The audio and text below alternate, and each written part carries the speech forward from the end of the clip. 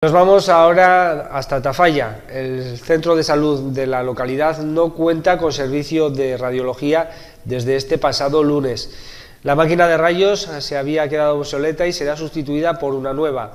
Fuentes del centro de salud han confirmado que este cambio ya estaba previsto.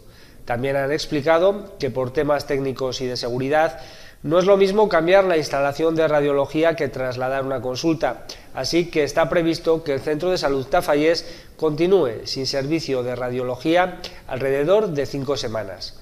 Mientras tanto, los vecinos y vecinas de la zona que precisen el servicio de rayos deberán trasladarse hasta Pamplona.